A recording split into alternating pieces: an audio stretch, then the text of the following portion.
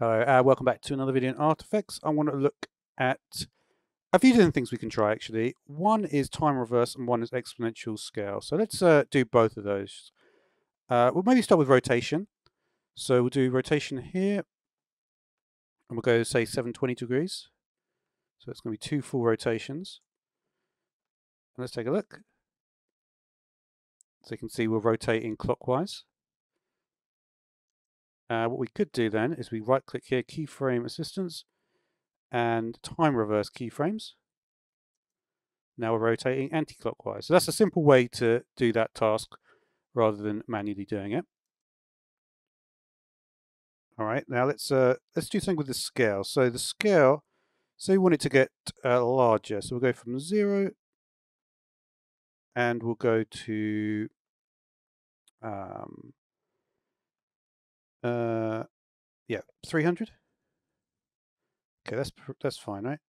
Because of the linear growth there, you'll notice at this point of the animation, it's really going fast, and now, now it's it's crawling through the line, right? Uh, and that's because it needs exponential scale because it's it's like the percentage that it's growing is less noticeable at larger sizes. If we look at the graph here, you can see it's just it's just going like a flat rate. And that isn't really what you want. So the way to fix that is to use exponential scale.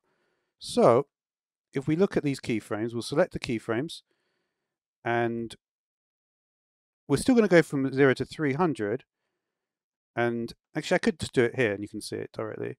So we've got the keyframe selected and we're going to press this button here, exponential scale.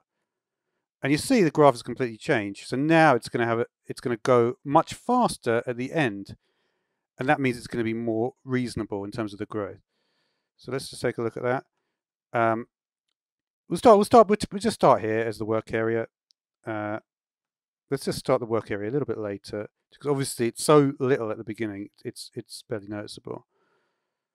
So we'll just do the work area here. You can see that way. It seems to be smoothly increasing in size, right? And that's the way that you can you can scale objects up and it's still and it looks like it's going at exactly the same speed rather than that slow down at the end.